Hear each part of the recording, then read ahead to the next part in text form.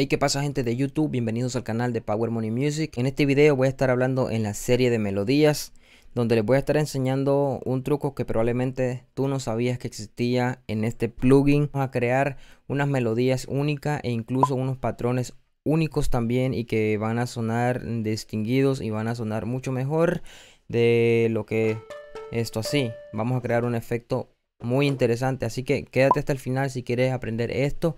Y aquí tenemos el cross beat en la melodía y vamos a darle play. Vamos a seleccionar esta parte para que se repita varias veces.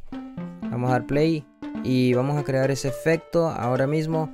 Y vamos a ir a la parte de acá de, de, de la parte anaranjada o amarilla lo que sea. Y vamos a ir a esta flechita que está apuntando hacia abajo y vamos a ir a create sequence. Como pueden ver aquí ya está creando un ritmo diferente al que teníamos. Ok. Eh, vamos a resetearlo. Ok. Ahí es casi como cuando lo teníamos sin el efecto. Esos son los, los puntos que tiene mi melodía. Entonces vamos a, vamos a crear como patrones diferentes. Como pueden ver,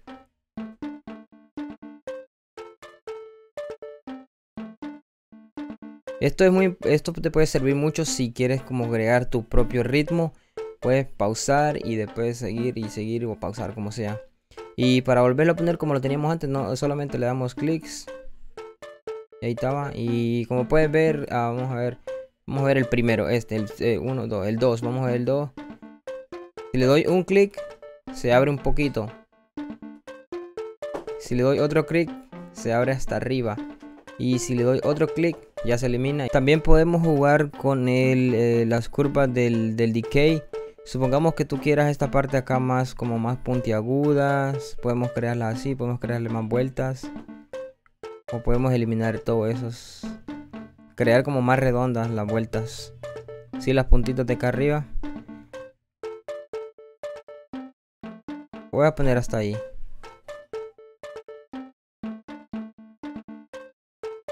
También podemos darle aquí con el sustain. Esto lo que va a hacer básicamente es que se va a asegurar de que el sonido baje o se quede. Si puede ver aquí, ahí se queda. Y si queremos que baje, pues obviamente allí. También podemos jugar con el release para crear un poco de espacio en la, en la melodía. Otra de las características de este plugin también es que si tú le das, son estas de aquí, pero si es que tú le das, le das el ataque, como que atrasa un poquito esos golpecitos de la melodía y hace que suene más suave. El efecto que crea se parece como el efecto de sidechain, pero pues no lo estamos creando.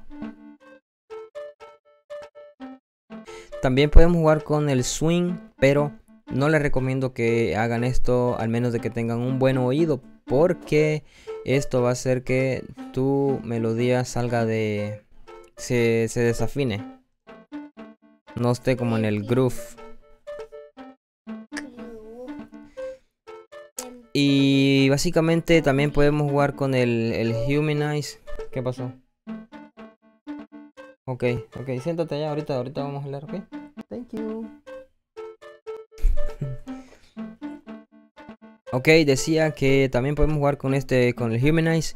Esto es que le da como ese, eh, ese sonido como si de verdad lo estuviésemos tocando como en el teclado y eso. Y podemos ir a todo, como el ataque y le podemos dar ahí también. igual aquí. Mm, suena bien. Y también podemos crear como ping pong. Eh, suena como notas extras, como un delay. Lo dejamos ahí, pues le damos a aceptar. Y también digamos que si no quieres ese efecto al 100%, lo puedes bajar de aquí. Como puedes escuchar, esta es la melodía sin el efecto. está en cero. Lo vamos subiendo poco a poco.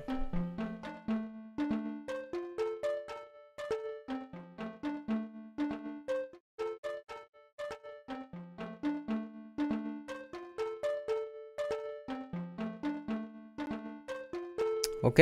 Y eso, eso fue todo y de verdad que fue muy simple, pero de verdad que puedes llegar a crear algo como muy interesante, patrones únicos y tu propio estilo. Y este, bueno, y hasta aquí sería el tutorial. No olviden de darle like y compartir y comentar. Y este, aquí tengo más videos sobre eso. Te voy a dejar un video aquí arriba para que lo vayan a ver. Y así que muchas gracias por mirar y chao.